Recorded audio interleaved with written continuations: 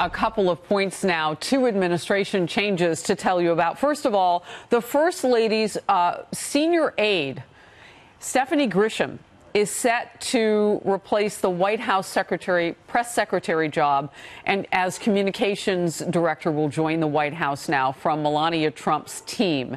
And uh, the First Lady's Twitter account just tweeted out she has been with us since 2015. The president and I can think of no better person to serve the administration and our country. Excited to have Stephanie working for both sides of the White House. Hashtag be best. Melania Trump writing that in her account on Twitter. Grisham serves, as I mentioned, as the First Lady's Deputy Chief of Staff and Communications Director and has long been seen as a leading candidate for the open job uh, left behind and will be so in the next few days. Sarah Sanders announcing her resignation from the post earlier this month.